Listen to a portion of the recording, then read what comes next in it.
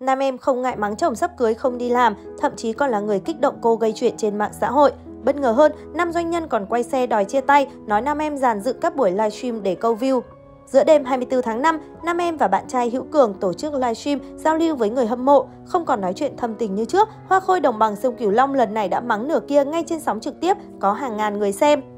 Theo đó, bạn trai Nam Em có quá nhiều câu nói quá khích nên được cô khuyên nhủ tắt điện thoại, không nên lên mạng trong lúc say rượu. Tuy nhiên, Hữu Cường không đồng ý, còn cho rằng bạn gái không hiểu mình. Lúc này, hai bên lời qua tiếng lại, dẫn đến tình hình căng thẳng. Hoa Khôi đồng bằng sông Cửu Long 2015 lên tiếng chỉ trích người yêu không chịu đi làm kiếm tiền để bạn gái làm trụ cột kinh tế. Bây giờ quan trọng là má muốn cái gì, má muốn là ở bên cạnh tôi, lo cho tôi, nhưng mà má không chịu đi làm. Tôi là người đi làm, rồi bây giờ tôi điên lên, tôi chửi, rồi má kích động vô tôi là phải như vậy, như vậy, như vậy, xong là tôi thấy mọi thứ nó tệ hơn, thì tôi mới khuyên má là đừng có như vậy nữa.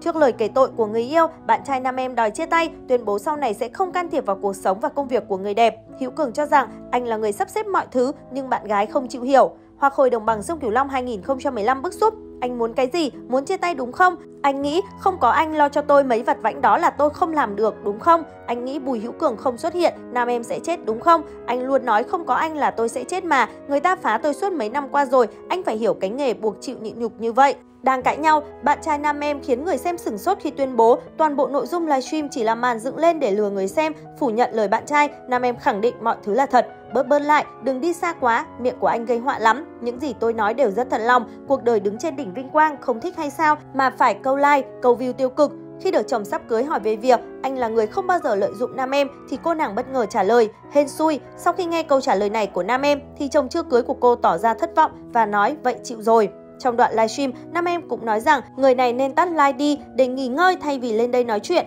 Cô cũng cho biết mỗi lần người này say rượu thì cô phải hứng chịu rất nhiều. Có lần nào anh nhậu vô mà anh đối xử với em tốt không? Anh nói đi, anh nói được em nể anh luôn. Lần nào nhậu xong cũng như khùng như điên. Sau khi phát sóng, màn cãi vã qua lại giữa nam em và chồng sắp cưới nhận được nhiều sự quan tâm. Người xem không khỏi bất ngờ vì từ khi công khai hẹn hò, người đẹp quê Tiền Giang luôn bênh vực dành lời tốt đẹp cho người yêu. Động thái quay xe của nam em được cho là tỉnh ngộ sau khi bị Sở Văn hóa Sở Gái liên quan đến các buổi livestream gây ồn ào trên mạng xã hội. Từ cuối năm 2023, Hoa Khôi đồng bằng sông Cửu Long 2015 trở thành hiện tượng khi liên tục livestream nói về những góc khuất trong showbiz Việt. Cô và người yêu có những phát ngôn gây tranh cãi khi công kích nhiều nghệ sĩ khác. Chưa dừng lại, nam em còn kết hợp với Quế Vân cùng nhau bóc trần giới giải trí.